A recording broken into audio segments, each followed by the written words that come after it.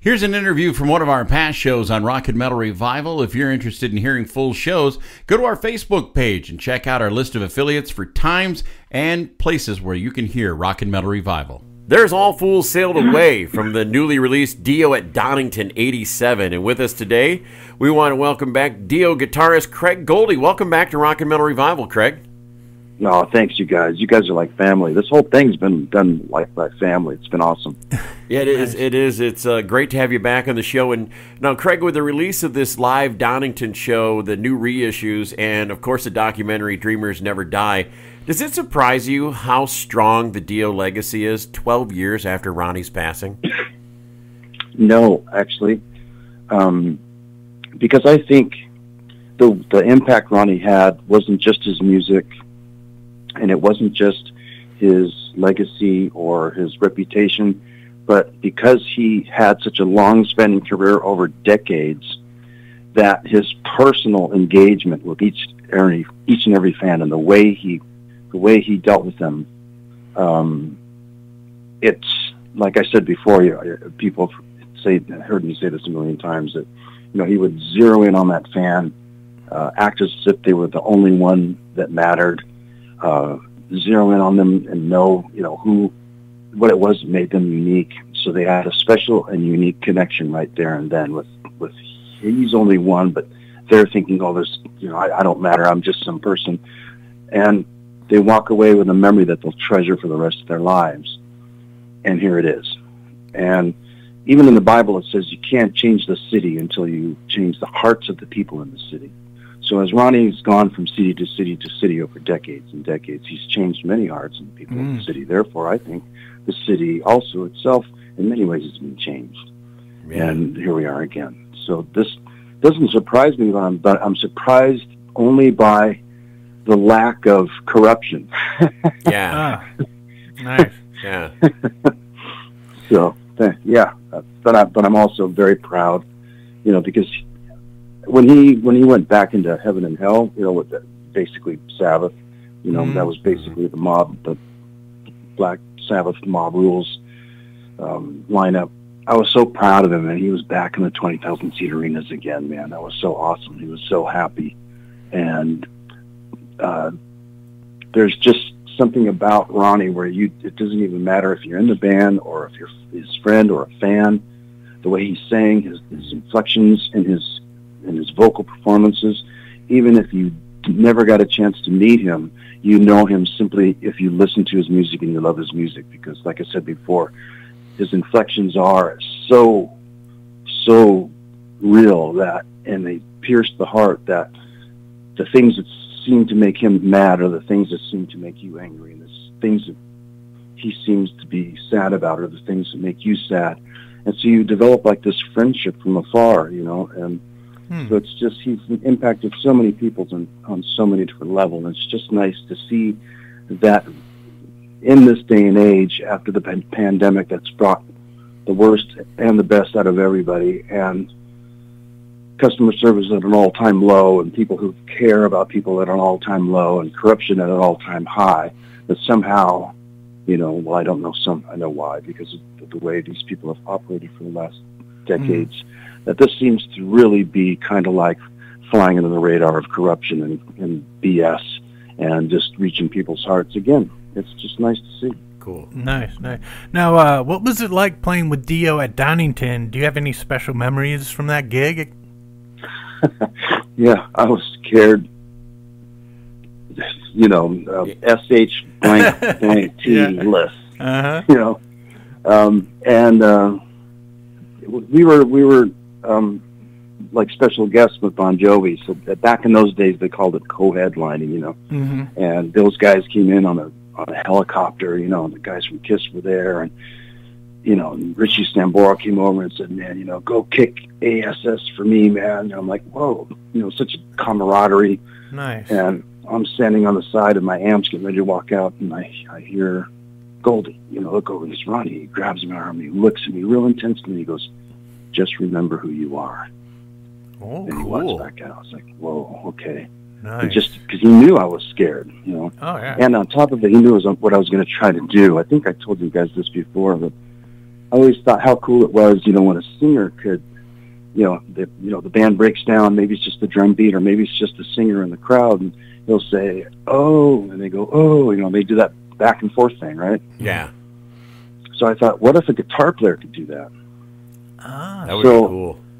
Well, it was luckily, but I somehow something told me it was okay to try that out for the first time at Donington. well, somehow, some way, shape or form, I decided to use that as part of my guitar solo at Donington. And so I get up there and I do this thing, you know, and I kind of make a motion like, you know, I want to hear you say and point to the audience. And people are kind of, you know, you could hear crickets at that time. And then it just could have really gone bad. And down, down, I put my ear. One guy goes, oh, I go point. I'm like, yeah, yeah, yeah. So we keep doing it back and forth, back and forth. The next thing I know, it's like it sounds like all eighty thousand people. I go, down, oh, down, oh.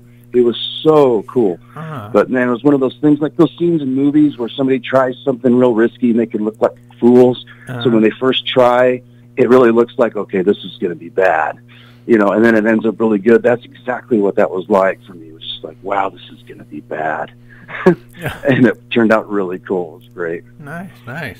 Now, now, Craig. I mean, you when it you joined Ronnie with after Viv left, and what was it like? Your first show with Ronnie, walking out there. I mean, that had to be just nerve wracking. Um, I mean, what was it like being a new member of the band at that time? Well, that was amazing in itself. All of it was amazing in itself. Um, because for me, being in Dio wasn't a gig or, or a job or a weekly paycheck. It was a dream come true.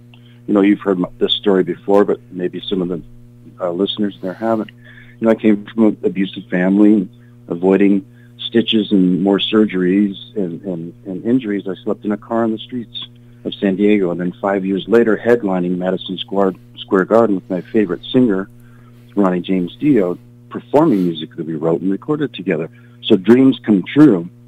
So the theme of this whole thing is, you know, about how dreams can come true. So, like I said, being in Dio was a dream come true, uh, but the the and nerve wracking, yes. Um, the very first show was actually on live television in the UK, Wow. and my gear didn't clear customs. in fact, part of it got destroyed by a forklift. Oh, no way. So talk about nerve wracking on top of nerve wracking. Um, and there was two guitars. One had a Kahler bridge, and one had a um, a, uh, um, a Floyd Rose left over from you know from what um, Viv said he didn't want to take anymore. Hmm.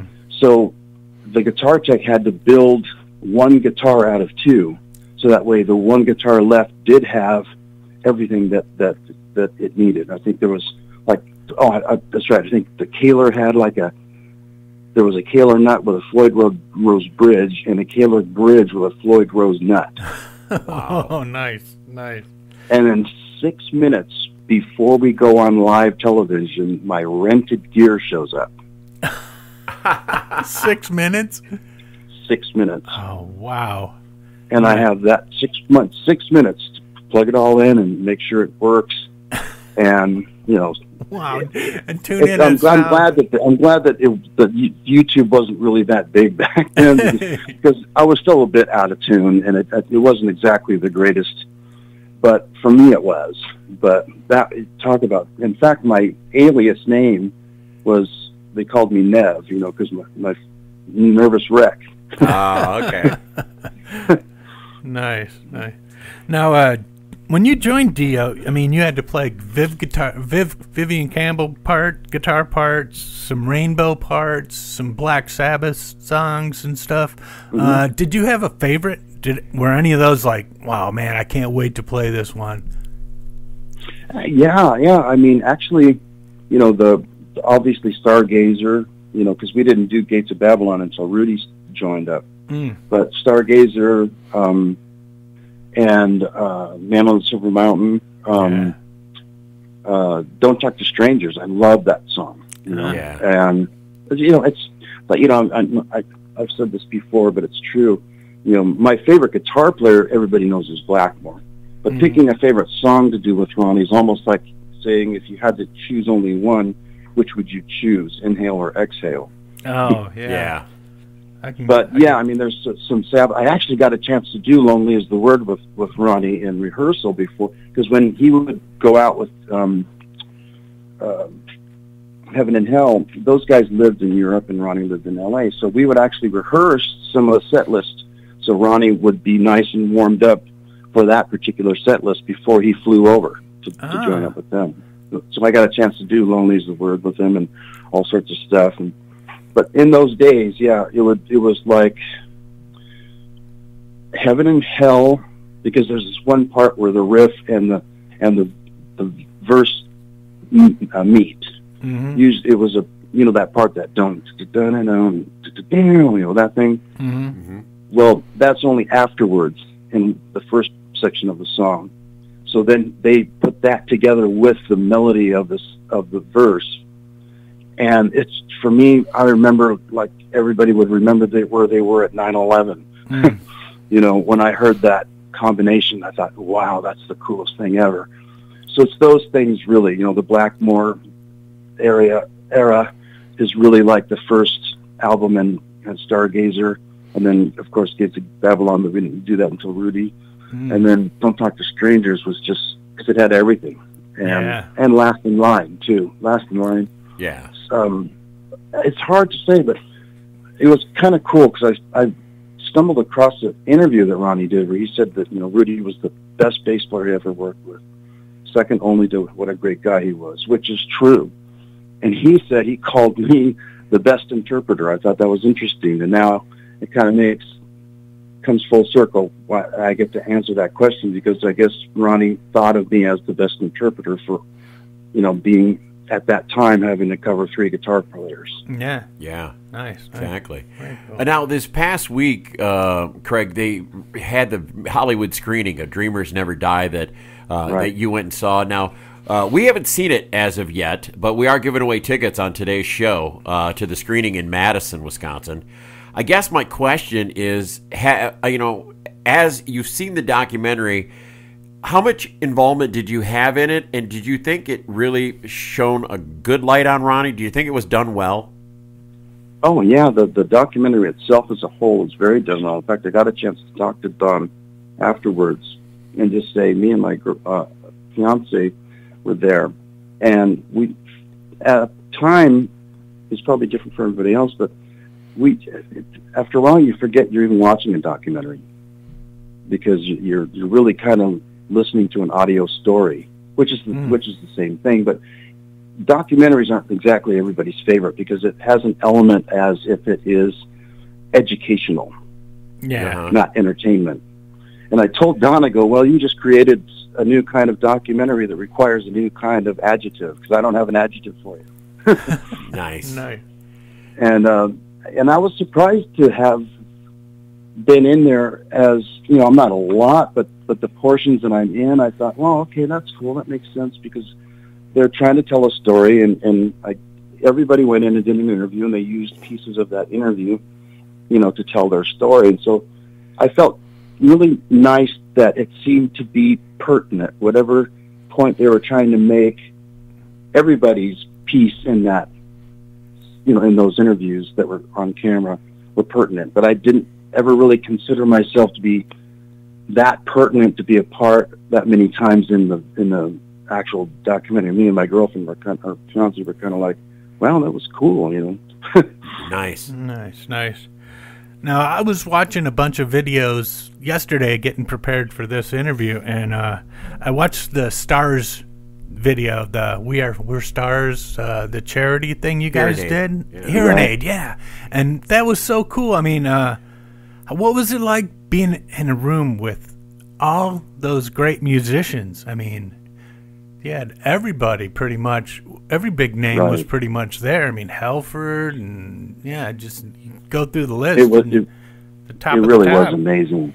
It really was amazing. It was like you know um, being in a Dracula in a room full of necks. You know, you know like, yeah, That you is- know. Um, but George Lynch scared me um, because um, when he was up next, you know, he was kind of like on deck, Mhm. so he was kind of practicing. And I happened to be in the control room at that time. I walked by and I heard what I could have sworn was a wah pedal. I thought, wow, cool. Okay, he's going to use a wah pedal on. That's cool. I looked down the, on the floor expecting to see that pedal, and there was none. Huh. And it was just the way he played. I was like, oh, man, are you kidding me? Scared the crap out of me. So I had to go back. But I'm glad that happened to me because I learned how to make vowel sounds. Uh-huh. You know, because you know, music is a very it's one of the highest forms of communication besides art. So Mm. and talking, you know. Yeah. So I was both grateful and scared as I, you know, blah blah less again, and uh, but I was grateful for that, you know. And Neal Schon, you know, we all had a, a, a we were all up to bat for that outro, but nobody can do outros like Neal Schon. He just makes that guitar sing. Uh, And so I was both in, intimidated and proud and humbled and, and privileged again, you know. And Ronnie said he brought me in to play first because he knew I would start with a theme and not just start blowing, you know, Yeah. mhm. right away, you know. Yeah. And he did that thing, you know, where, you know, grabbed my arm. He's like, see, that's why, you know, yeah, you know, it was really cool. That I certainly was, I don't think my talent at that time deserved to be in that room, but it was nice to think that Ronnie thought so. And so the part that I played was cool, Yeah. but um, I really learned, I really learned just how out of my league I was, you know, or out of their league I was, you know. Um, I don't know. Uh, I don't know about Green that either. I mean, everybody was amazing. You know, it's just like, well, because you know, I I sound good on recordings because I work it out. hmm You know, and I play them live, and I and I maybe I'm impressive to some people because I can do what I do in the studio live, so people think that's cool. But my improvs were never really that great. Mm. Okay. All right. So you know, that really taught me. You know, you know, I need to go back to the drawing board really to learn how to how to improv, and that did it only did good. There's a benefit to everything, but I just, you know, my if I if I if I let myself continue to be scared, my hands would have curled up inside of my wrists, and I would have been un- unable to play. Yeah. Uh, I understand that. Hey, uh, Craig, it seems like a lot of bands from the 80s and some of the, from the 70s are going back to what they call the so called vault, and they're finding Right. unreleased material. Are there songs Right. that you and Ronnie wrote and recorded that never were released that maybe will see the light of day sometime? Yeah, actually, I know. I think him and Doug have one. Him and Jimmy have one. Um, and actually, it's my the one that I have stems into like the saddest and proudest point in my life because there was a point when the doctor gave Ronnie a clean bill of health and said, "You can do whatever you want to do." And so we all thought he would go back to heaven and hell. You know, he's back in the 20,000 seat arenas and just sock away money as much as he can because they were making money hand over fist. And I was so proud of him being back on, on the stage like that again in those large crowds and the small venues we were we were playing. You know, not to say that you know being big is better. It's just it's just he's my friend, and so I want to see him do well in a in a platform that he deserves. Mm. And so when Wendy said, "What do you want to do?" to Ronnie, we all thought he would say, "Let's go back, you know, on the road, and you know, so I can have some money for my retirement." He turns to Wendy and he says, "I want to write with Craig." Huh. Wow. Wow. Yeah. So now here we are writing Magica 2 together. Nice. And I can see that he's not feeling well, you know, Mhm. and he's just, don't worry, Goldy, you know, I'm, I'm, it just happens, you know, I'll be okay. And so we were, this first song we were on only needed um, the vocal bridge to do, and it would have been completed, and then the band would have recorded it. But I had these obligations with that band, um, Budgie, um, where they had already paid for the the visas and ticket, you know, the airline tickets and everything was paid for. But I didn't want to go, and I was told I was just gonna, I was gonna not go. Mm. He said, Goldy, no, don't worry about it. You know, this will give me a chance to write more of the story. And it's only two weeks, so when you get back, you know, I'll have more of the story to write too, because that's how he did it. He didn't have the whole story written the first time Mm. he would add characters and then that became okay we need to write a song for that character for that part of the story so we were doing it again it was just so amazing But by the time I came back, he was in the hospital, and the very next day he died. Oh man, That is sad. man. So you know, but to hear that from Wendy saying, Mm. what- we asked him, "What do you want to do?" and he said, "I want to write with Craig. So can you come up and play?" I'm like, "Yeah, are you kidding me?" you know, That's awesome. yeah, yeah. It was so now you know what I mean by the both saddest and proudest moment. yeah, So there is unreleased material, magic and material, and unreleased portions of him uh, narrating the story. oh, okay, I hope So I'm that's sure they'll just see the light of day at some point. cool, cool. Now, uh, like I said, I was watching all these old old videos and stuff, and um, the song "All the Fools Sailed Away." You think that song could have benefited from maybe adding some cowbell? you know, especially You right at the be kidding me. beginning. You- Right at the Right at beginning the where beginning. it's nice and yeah, mellow. and the, that gentle intro, that's what it's missing. Yeah, that's what I was Could you thinking. imagine? I can just hear Simon just hitting that. Just, yeah. Ding, ding. oh, oh, oh, God, yeah. No, well, Craig, it's been an honor having you back on the show, and you know you're always welcome here. And but we're we always you. let our our, our artist, uh, our guest here, pick a song uh, out of the interview. Is there something off live uh, live at Donington you'd like to like us to play? Um, actually, I'm going to leave that up to you guys. Surprise me. Oh, okay. What do you want to go with? Surprise man? me. Oh, I don't have Yeah. the list in front of me. Surprise me. It's right behind you. Oh, oh yeah. yeah, we've, we're sitting here with the CD. Like, I I would. We, should we go with a Dio song or should we go with a Rainbow tune? What do you want to do? Oh. How about a rainbow song? You want to do "Man on the Silver Mountain"? Why the heck not? All right. Well, Craig Goldy, you are always welcome here on Rock and Metal Revival, my friend. Oh, thank you guys, man. I, I, you guys are like family, and you've heard me say I love you guys like brothers. You guys are great. So thank me, uh, thank you for having me on.